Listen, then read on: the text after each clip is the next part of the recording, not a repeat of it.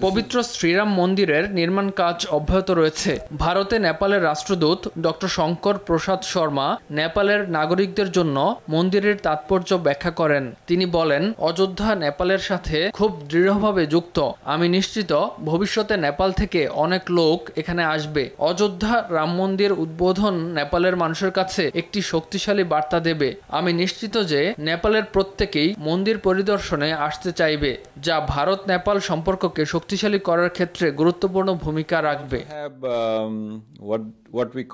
বিবাহ মণ্ডপ in what